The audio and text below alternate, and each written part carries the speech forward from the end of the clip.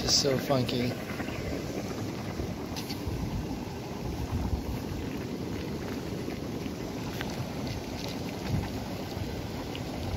Naturally hot, boiling hot water right here.